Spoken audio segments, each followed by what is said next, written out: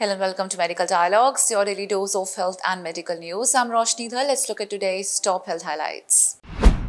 NEET PG counselling to begin soon. and NMC relief on existing recognized PG seats for admissions decides on 1870 applications. In a major relief to the NEET PG aspirants, the NMC has allowed all the existing recognized PG broad specialty seats available with the medical colleges and institutes to be considered for admissions for the academic session of 2023 and the seat matrix will be prepared accordingly. The Postgraduate Medical Education Board of NMC has taken this decision as it took note of the fact that the counseling process for PG medical admission on the basis of the NEET PG examination is going to start soon. Issuing a public notice in this regard, the PG board of NMC has also informed that it received altogether 2,828 applications from medical institutes across the country seeking recognition or renewal of recognition for the PG medical courses during the year 2022. Although the board took a call regarding 1870 such applications, the